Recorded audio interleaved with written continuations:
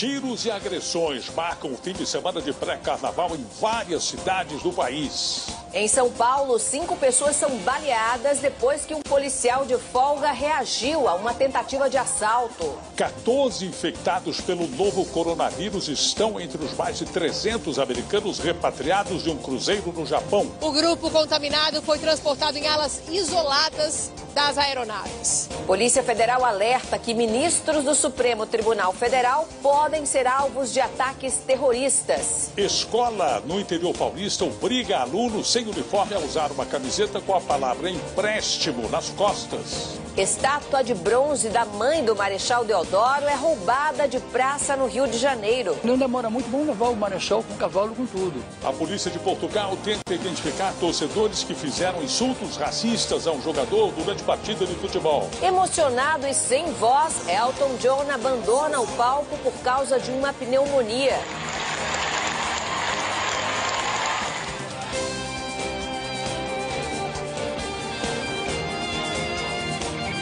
Está no ar o SBT Brasil, com Carlos Nascimento e Raquel Sherazade. Boa noite. Boa noite. Cinco pessoas foram baleadas durante um desfile de blocos de carnaval na zona sul da cidade de São Paulo. Entre os feridos estão dois homens suspeitos de assaltar um policial civil que estava de folga. Eles estão presos. Neste vídeo, feito durante um dos desfiles... crime, não faça, porque você será preso. No estado do Rio de Janeiro, a passagem dos blocos de carnaval neste fim de semana terminou com cinco pessoas mortas. Mais violência no Brasil neste pré-carnaval. Um atirador matou um jovem de 22 anos e também um segurança na porta de uma casa noturna em Caxias do Sul, na Serra Gaúcha. Outros dois seguranças ficaram feridos. Oficialmente, o número de homicídios caiu 21% em todo o país, segundo o Ministério da Justiça.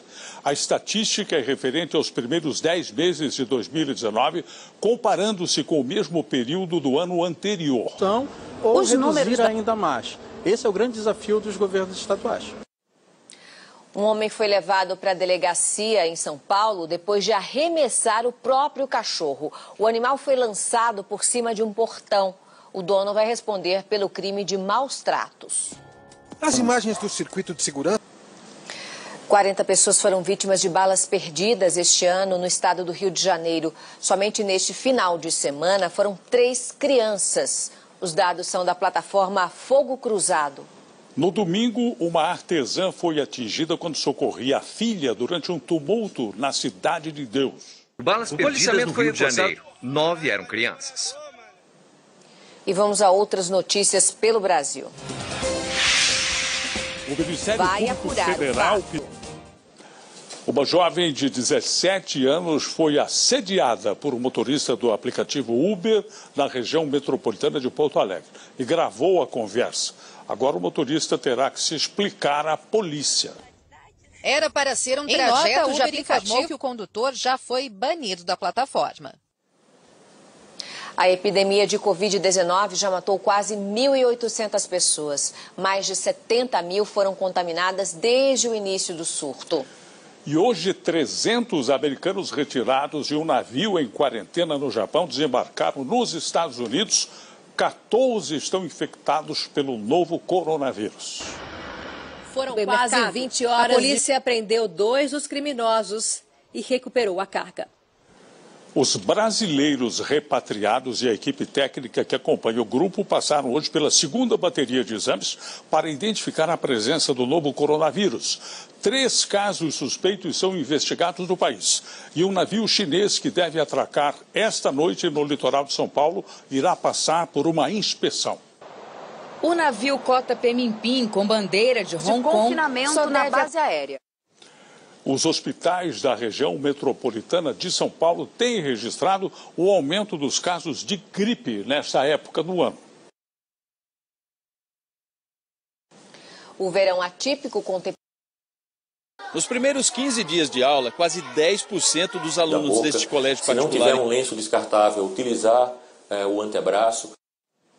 Ministros do Supremo Tribunal Federal estão supostamente na mira de um grupo de extremistas. Esse alerta foi feito pela Polícia Federal. A Polícia Federal confirmou que enviou Os governadores de 20 estados divulgaram hoje uma carta com críticas às recentes declarações do presidente Jair Bolsonaro. O relacionamento com os governadores dos estados será uma das tarefas do novo ministro da Casa Civil, que tomará posse amanhã. Eu acho que ela não era utilizada é, da forma adequada. O presidente Jair Bolsonaro prometeu mandar ao Congresso Nacional ainda esta semana a reforma administrativa que pode mexer com a estabilidade no emprego dos futuros servidores públicos. Enquanto isso, as contratações deverão diminuir. Concursos públicos só Deverá se forem essenciais. parlamentares. Veja a seguir. Novo presidente do Tribunal Regional Eleitoral de São Paulo defende o combate às fake news, as chamadas notícias falsas. Pneumonia deixa Elton John sem voz e o cantor abandona o palco no meio do show na Nova Zelândia. Você vai ver já já. Roda, roda, Jequiti.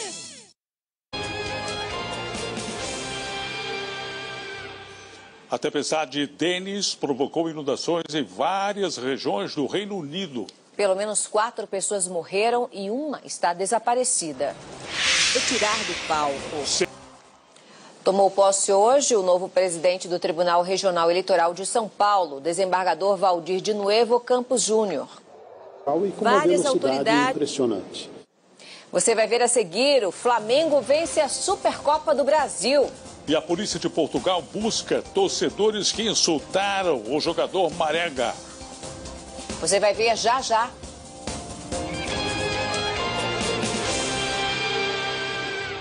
Você A polícia do Rio de Janeiro investiga o sumiço da estátua da mãe do Marechal Deodoro da Fonseca no bairro da Glória, na zona sul da cidade. Surreal essa história. A peça de 400 quilos e 2 metros de altura foi levada no fim de semana.